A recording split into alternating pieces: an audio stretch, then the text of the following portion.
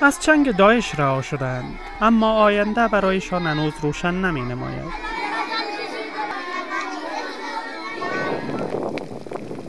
در روستای غورکی در سی کیلومتری بندر تورخم به سر می‌برند. جایی که نه مکتبی دارد نه درمانگاهی و نه منبع آب آشامیدنی پنج هزار خانواده باشنده این روستا چند سال است روستای عبدالخیل ولسوالی اچین ننگرهار را ترک کردند و به اینجا کوچیدند.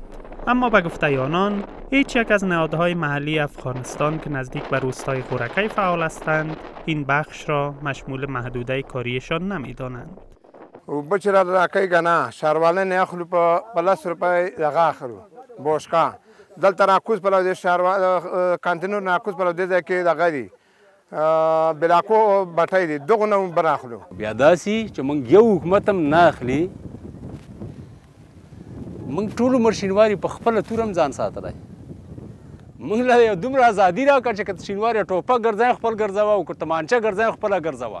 اما تنها این روستاییان نه بل نظامیان هم در بخش‌های مرزی و به ویژه در بلندی‌ها با چالش‌های زیادی روبروستند این جاده است که به کوی شمشاد بر فراز بندرگاه تورخم می انجامد جاده که تنها بخشی از آن را می شود با موتر پیمود.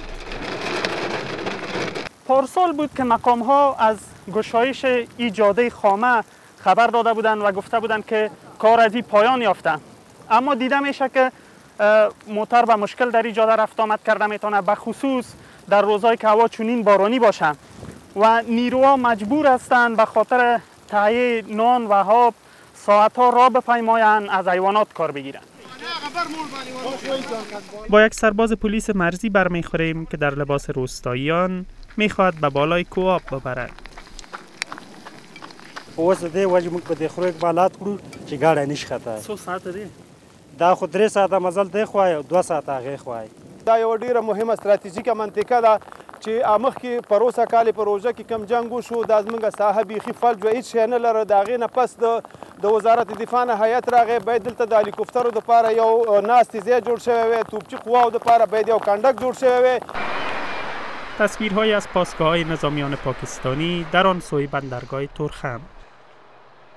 تصویرهایی که به گفته باشندگان این بخش ها جابجایی این پاسگاه ها را در مقایسه با سالهای پیش نشان می‌دهند. و نیز اثارکشی ها از سوی نظامیان پاکستانی در این بخش هم در حالاتی تا جایی می رسند که حتی با پاسگاه نیروهای مرزی افغانستان در یک مسیر برابر می شوند.